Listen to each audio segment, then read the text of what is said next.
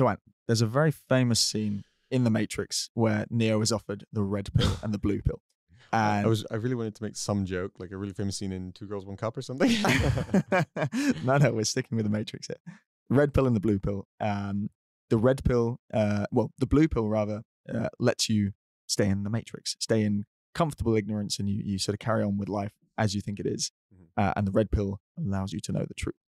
Um, my question to you before we introduce the show is, which one would you have taken in that Oh. situation? Thank you, Morpheus.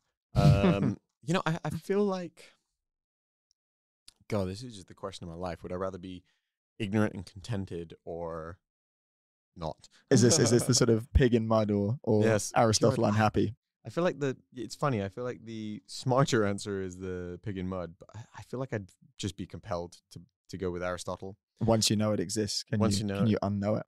Well, I mean, literally, you can. That's what the blue pill does. That's true. That's exactly the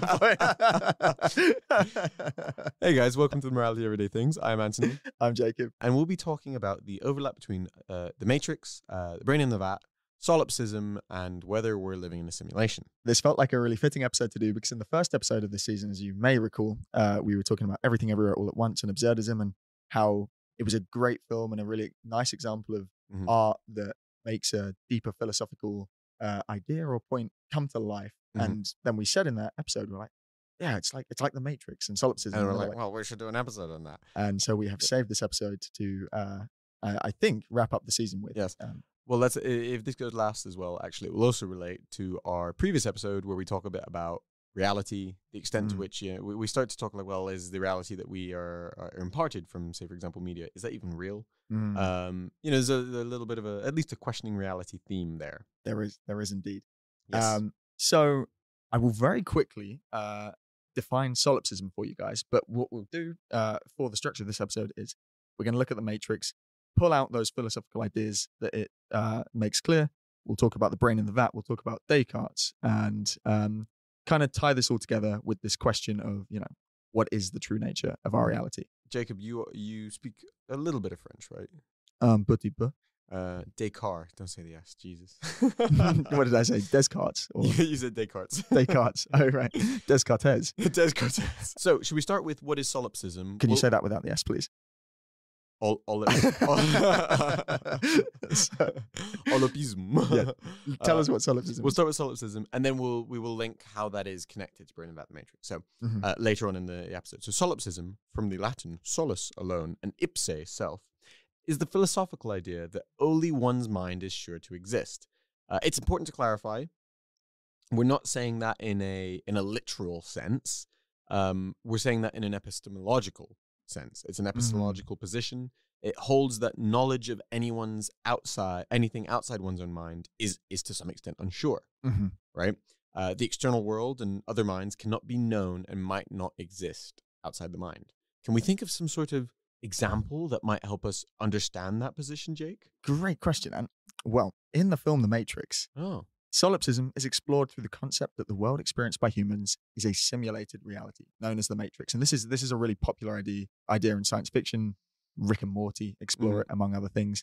Uh, but in the Matrix specifically, the main character uh, Neo discovers that the reality he thought was real is actually an artificial construct created by machines to keep humanity unaware of their subjugation. And obviously, this idea aligns with solipsism by challenging the distinction between what is real and what is illusory. The Matrix and, and the sort of blue pill, red pill question that we introduced the episode with, uh, the Matrix presents this idea really that our perception of reality could be deceptive. So we could actually just be existing in this comfortable matrixy world, which is actually all made up of code, but mhm, mhm. we're just kind of happy. But in fact, we're sort of in this pod somewhere, and our energy is being harvested, and yes.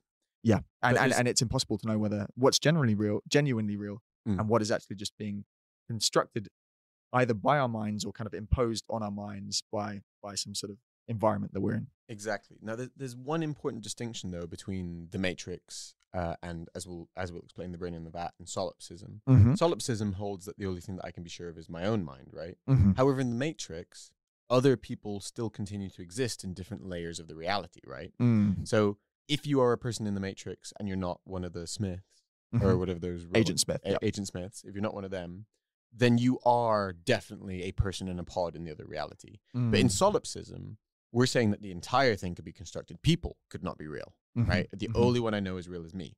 Um, and you know, if you've seen a lot of the Matrix, then you you may actually uh, uh, you you could see how that may follow.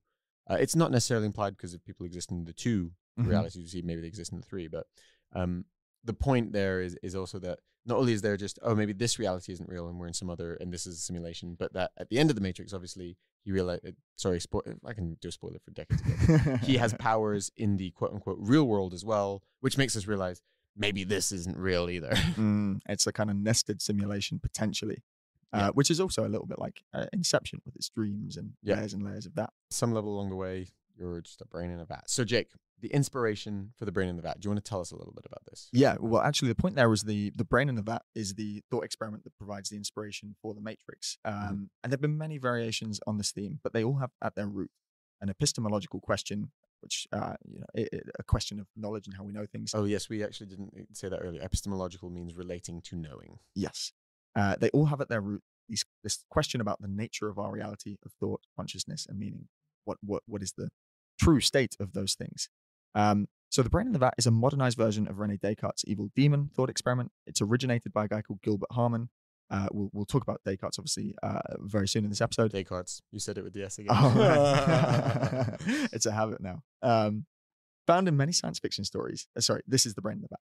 So, found in many science fiction stories, the brain in the vat outlines a scenario in which a, ma- a mad sci- a mad a Mad- mad scientist, scientist called Descartes. Yeah. a mad scientist, a machine, or some other entity might remove a person's brain from the body, suspend it in a vat of life-sustaining liquid, and connect its neurons by wires to a supercomputer that would provide it with electrical impulses identical to those a brain normally receives. And according to such stories, the computer would then be simulating reality, including appropriate responses to the brain's own output. Mm. And the disembodied brain would continue to have perfectly normal conscious experiences like a person of an embodied brain would, Mm. without those actually being related to objects or events in the real world. You can see there the clear inspiration for the Matrix. But the point to sort of draw away from all this is from the perspective of the brain, it's impossible to know whether you're being deceived or not. Are you actually walking down the street or are you stewing in a vat, imagining you're walking down the street? That's the the, the sort of key thing there. Yes. Uh, I suppose a follow-on question that we'll, we'll come to is why does it matter? Mm, Um, so it's an argument for philosophical skepticism as well as solipsism. yeah. And I suppose just to expand on skepticism, it's basically the point there is the conclusion of all this isn't necessarily that you are the only thing that exists. The conclusion is it's an argument to be skeptical about the nature of your reality. Yes. Not necessarily that Yeah. by It's- default I'm I'm all that exists. Exactly. It's I am the only thing I can prove to or know to exist that it, which is not synonymous with nothing else exists, right? I just can't know that they exist the same way that I know that I can. Um, Jacob, carry on. Let's take a trip back in time to I actually can't remember when Descartes existed. Ah, 1641. Let's take a trip back to France, 1641. Uh, bonjour. Actually, interesting fact for you. Mhm. Um, prior to the French, in fact, prior to the even in World War One, I, think only seventy percent of people spoke the same French. Mhm. Prior to the French Revolution, which I think sixteen forty one was. Uh, so wait, the, Napoleon's time was like 1790s or something, right? Yes, the revolution must have been sometime in the sixteen hundreds. Wait, what's the revolution? You're not talking about the one where they chopped off the king's head. Yeah. That was like 1780 Okay, so pre French Revolution, only about 10% of French people spoke French as we understand it. People in Paris and wealthy Sacré people. bleu. Sacré bleu. Because there was many regional, regional dialects, right? yeah. Uh, they would be either dialects of French or, for example, Basque, hmm dialects like that. It was only standardized after the, uh, I think, by Napoleon? That would make sense because I mean, Or, or actually even after Napoleon, it happened in a similar time in the UK with Samuel Johnson's dictionary, right? And and there were people spelled things weirdly, and Mhm. they still speak strangely in different parts of the country. but Um, yes, sorry, Karen. So the brain of that is a contemporary version, as we said, um, of a of a similar sort of strand of argument, uh, and, and you actually see it pop up in different cultures in history. You've got uh, the Hindu Maya illusion. You've got Plato's allegory of the cave. Yep. Uh, you've got Zhuangzi's. Zhuangzi dreamed he was a butterfly. Uh, I don't know much about that, Mhm. but the famous one we're going to talk about is the evil demon in Rene Descartes' Meditations on First Philosophy. Uh, tell us about the evil demon. Now. in the first of his 1641 Meditations on First Philosophy, uh, he imagines a malevolent god or an evil demon of utmost power and cunning has employed all his energies in order to deceive me. This malevolent god or evil demon is imagined to present a complete illusion of an external world, so that Descartes can say, I shall think that the sky, the air, the earth, colors, shapes, sounds, and all external things, including the S at the same end of my name, are, are merely the delusions of dreams which he has devised to ensnare my judgment. I shall consider myself as not having hands or eyes or flesh or blood or senses, but as falsely believing that I have all these things. It is one of the several methods of systemic, systematic doubt that Descartes employs in meditations. Uh, so, roughly, what is the point of the book that he's th- th- this leads to this uh, excerpt, Jake? He's basically trying to find something he can be certain of. So he's Yeah. saying It know, is an epistemological uh, exploration. yeah. If you if you're if you're trying to build a foundation of knowledge, what is it that you can be absolutely Yeah. rock solid, dead The certain sure of? Things. yeah, what can you start with? And he's saying, okay, the best way to find those things is to doubt everything. And he does it in a very systematic way, Like this. like this. And then he's like, okay, a lot of these things kind of fall away, a lot of things crumble. However, However, one thing remains. one thing remains you cannot doubt that you are doubting. Wait, are you gaming? On a Chromebook? Yep. It's got a high res 120Hz display, plus this killer RGB keyboard. And I can access thousands of games anytime, anywhere. Stop playing. What? Get out of here. Huh? Yeah, I want you to stop playing and get out of here so I can game on that Chromebook. Got it. Discover the ultimate cloud gaming machine, a new kind of Chromebook. The act of doubting everything is the one thing you can be sure of, and this for him forms the first building block of philosophy. There's a nice quote a little bit further below where he says, um, His objective was to find a starting point from which to reason, to find an irreversible certainty.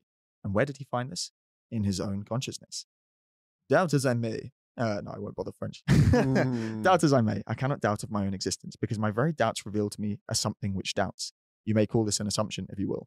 I point out the fact as one above and beyond all logic, which logic can neither prove nor disprove, but which must always remain an irreversible certainty, and as such a fitting basis of philosophy. And this leads to the very famous expression you've no doubt heard, which goes, I think, therefore I am, or in Latin, cogito ergo sum. Oh, you know what? I didn't even realize you were right. The, the more full expression is dubito ergo sum, vel quod idem est cogito ergo sum, Mm-hmm. which is, I doubt, therefore I am, blah, blah, blah, blah.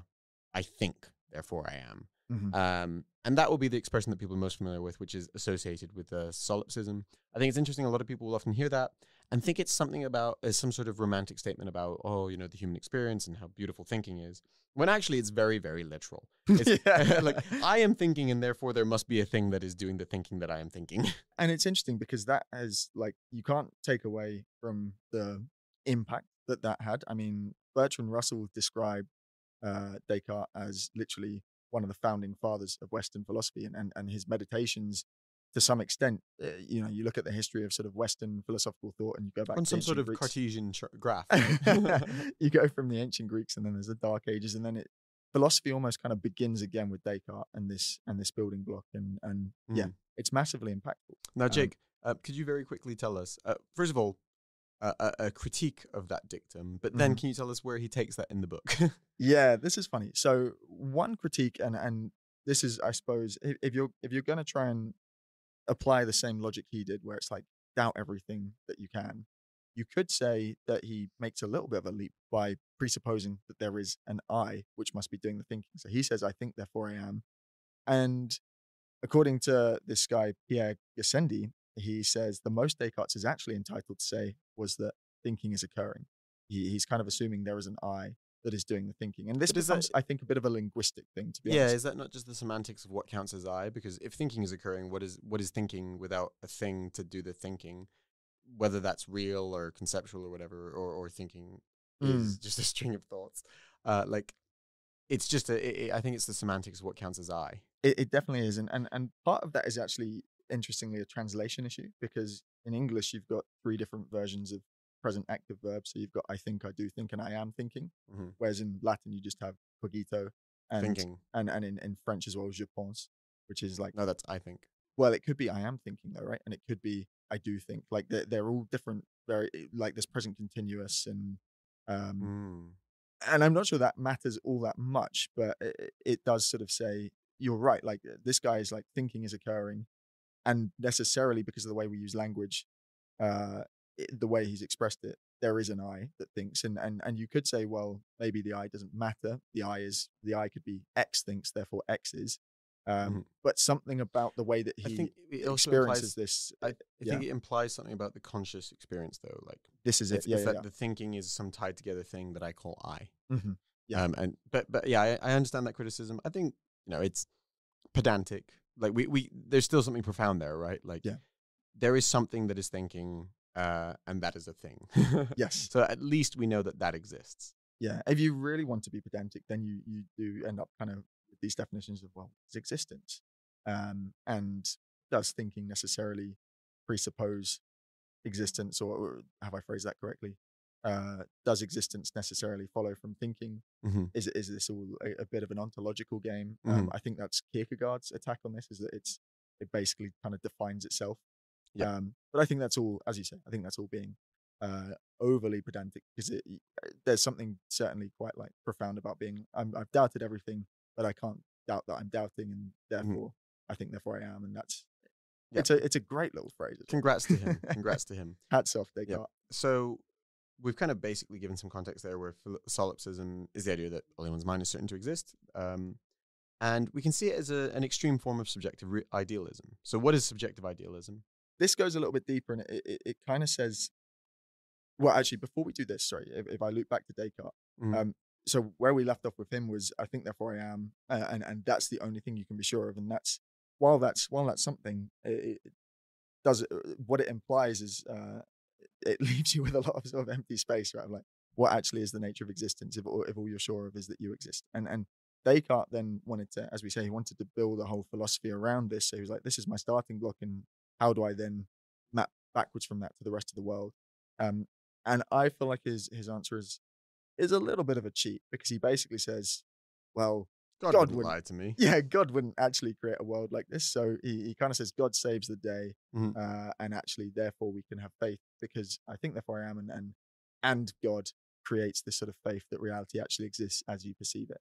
Um, so that seems seems a little bit lame. I know, I know. But he had some, come on, he had one insight. He wasn't going to solve all of reality for us. yeah. Um, I, I actually ran out of time to sort of look at further sort of rebuttals or how how people have built sort of on this foundation to to kind of mm, mm. build a better empirical model of how, how the world works. I, I don't know if you know any off the top of your head. I kind of I only got that far in the notes. Um, no, it's. I mean, it's. It. Well, the, part of the problem with this sort of realm of metaphysics is like beyond supposition. How could you even put anything forward? Yeah. Yeah. Um, Except for this one brilliant idea, and even that is like, well, what's I? but this this does now link us to the subjective idealism point, um, Yep. whi- whi- which you were just saying, because subjective idealism is kind of it sort of takes Descartes literally, uh, and it's this position that says reality and existence are ultimately dependent on the mind or consciousness. You can Mhm. only be certain that the mind exists, and then the kind of leap that they make is that the mind creates reality. It's not that reality exists independently of you and, and you perceive it. Um, Existence, as we define it, is an interaction with consciousness. Yes. So, in a sense, if no one is there to perceive that the universe was uh, existing, pre-humans, it didn't really exist, right? Yeah. It's not that I mean, physical space doesn't exist without humans to to to perceive it, right? Mhm. It's like how you can't take a photo without having a, a perspective from which to take it, right? It's Mm-hmm. just not possible. It, that's not taking a photo without it. And it, it seems kind of massive to me to say the external world is seen as a product of our mental activity and its existence is contingent upon our perception of it. But that is Mhm. what subjective idealists say. There's a guy called George Berkeley. He's Mhm. like the influential proponent of it. Um, I don't know. It's kind of mad. It, it, like, It really does make you reflect on existence as a concept, right? Because the, the the one I really like to think of is, as, as I briefly touched on there, what is existence when humans don't exist, Mm. right? if Uh, a tree falls in a wood again. exactly, exactly. I know. I mean, even when you see a tree and it's like, why does that tree exist? You still think about that in the context of the tree surrounded by other things. But what if it's like all physical things? What what does physical even mean? Mm. If not for the context of the body that my brain ride, rides around in can t- interact with it. Like, what Mm. does physical actually mean? And and there is also some. I, I really like this idea again, subjective idealism. I, I like this idea of reality as um, reality as we perceive it, reality as we can communicate with each other, um, as something of a product of of us interacting with it, whereby it's something like the display on a monitor, um, where you know our brain is the our conscious experience is like the software, our brain is like the hardware, and we're interacting with some physical reality. But like if you think about a computer, it's just all Mm. circuitry and ones and zeros, right? Mhm. But it makes something coherent on the screen. and we can see issues with that. Likewise, we can see that we get um, visual. What's it called? Lag? No, no. what- Um, optical illusions. Right. right, right, right. And we can see that actually, like, there is this kind of like, there is a clear uh, divorce between reality and how we perceive it, and existence only is reflected in how we actually can perceive it. Mm, yeah, Profound. very profound indeed. Um, I suppose- anyway, tying tying this back to the Matrix, um, well, tying tying this sort of forwards even is um, i i- the big question that kind of comes out for me is what are the moral implications of solipsism? Uh, and and probably the easiest way to answer that is, are there any? Does it matter? Like Mm. it's a very interesting thought experiment, but it almost feels a little bit like to me, and this this may be an unfair analogy, but it feels a little bit to me like the sort of questions around determinism and free will Mhm. in that if you you you kind of determinism similarly sort of you you hit this point where it's like it's it's difficult to argue against logically Mm. but to live that way practically kind of removes your agency Mhm, uh, mhm. as a as a sort of moral actor and therefore if Well- the consequences morality doesn't exist that that feels like a very undesirable place to end up in I I would debate that like what you're describing there is one of those ones where it's like, well, yes, philosophy versus reality, right? Mhm. I would argue that this one you don't even need to make that distinction. It's um, you know, okay, let's say the world doesn't exist let's Right. say we are in the matrix in the matrix, right? And let uh, in fact beyond the matrix, like it's not just that the world, it's not just that this reality that we both are in doesn't exist. I don't even know if you exist, Mhm. right? You're nothing to me. um, but similar to something like nihilism uh, and absurdism, as we touched on before, uh, maybe that doesn't mean that I can't invest it with whatever with whatever meaning I want. Mhm. Um, but and and also practically, like, okay, look, you know, what is my what is my objective in in this reality where uh, I don't even know what my meaning is? Like, well, roughly to be happy, and I, I pursue things that I think give me meaning. It's like even if the world isn't real, why is that a reason not to pursue that? Right? Mhm. I still I still enjoy those feelings in and of themselves. Uh, I still enjoy having meaning and, and pursuing meaning. And so things not being real doesn't, i- i- i- in the same way that nihilism doesn't seem to undermine that. Things, you know, things not being real really has an overlap with nihilism in that sense, right? Mm. Like I still want happiness, and largely why I do moral things is because I think they're the right thing to do, and it makes me happy to pursue it, not because I feel some obligation necessarily. And even the obligation uh, or duty, you fulfill your duty because you, at some level, Mm. feel good for doing that.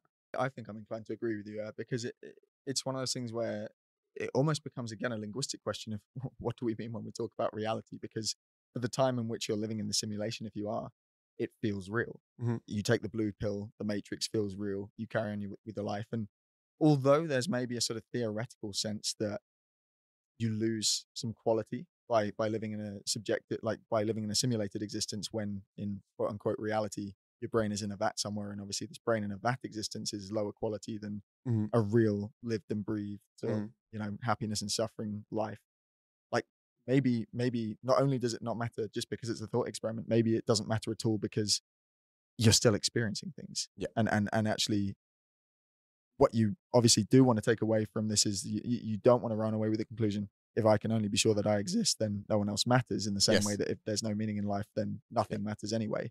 And and also again, distinction between what I can be 100% on knowing versus what what may be true, but I can't know. Um, it, it- like you said, it doesn't mean that everyone else doesn't exist. Just because you don't know that everyone exists, you shouldn't behave. Oh, as if okay, yes, that- or you wouldn't want to behave. That would be Yes. undesirable. Not to mention, there's another argument that you can make uh, around expected values, right? hmm Um, so you can you can think like, okay, the chance, whilst the chance is large that it's not uh, A simulation uh, uh, no, that it's not real. is the chance larger than Uh, people debate on that. Whatever. Well, there's a non-zero chance that it's not real, there's also a non-zero chance that it is real. Mm-hmm. And if objective morality only matters in real circumstances, then there's a chance that you're wrong, Mhm. right? So, you know, hey, maybe it's a reason for you to be a little more chill, but don't kill people.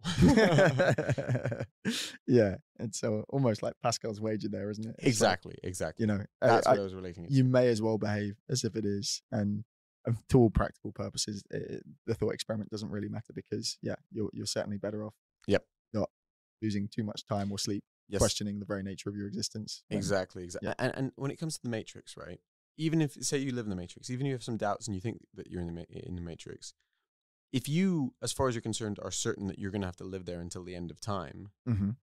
then it doesn't matter whether it's real or not. You're going to live with the consequences of your actions. And like I said, you still feel pleasure and pain, Mm, uh, mm. including fulfilling moral obligations to other people, uh, but also the negative consequences of actions that are practical. exactly. I think that's quite a good place to to wrap this up. Uh. Any any further closing thoughts? No, uh, I mean, it's a, a difficult one, uh, hard for 5 or 6 p.m. Uh, Jake had a coffee, I didn't. But I will say, guys, that's a that's a wrap for this season. Um, thank you so much. We really enjoyed so much of it. We enjoyed having guests for the first time. Uh, hopefully, we've enjoyed some the first time having some video stuff. Hey. Um, we enjoy uh, promoting this a little bit, trying to get around on Reddit, uh, amongst other places. So thank you if you came from there. Uh, we really enjoyed getting you guys to leave so many reviews. I can't believe we've hit uh, five thousand reviews already. That's a joke because we're nowhere near that at the moment. But hey, maybe by the end of the season, that's true. By the time you listen to this, please, you if you manufactured some this, consent there, right? Uh, Exactly. created a narrative. a hyper reality. Um, you guys, please do leave a review, leave a written review, share with somebody, uh, help more people find out about the show.